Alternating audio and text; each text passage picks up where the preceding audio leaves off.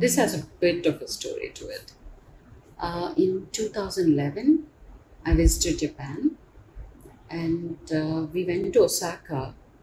We lived in onsen for a week and it was the most memorable holiday. I still feel like it's my most memorable holiday.